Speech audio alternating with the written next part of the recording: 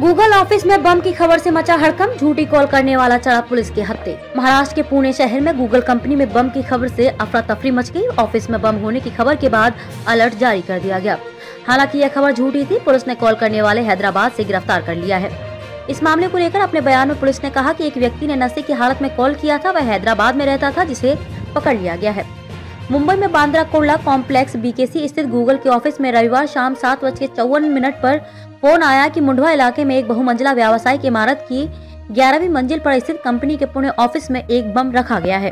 Company के अधिकारियों ने बीकेसी पुलिस में एक शिकायत दर्ज की, जिसके बाद अज्ञात व्यक्ति के खिलाफ भारतीय दंड संहिता की धारा 505 का भाग ए और बी के तहत धारा 506 के तहत केस दर्ज कर लिया गया है।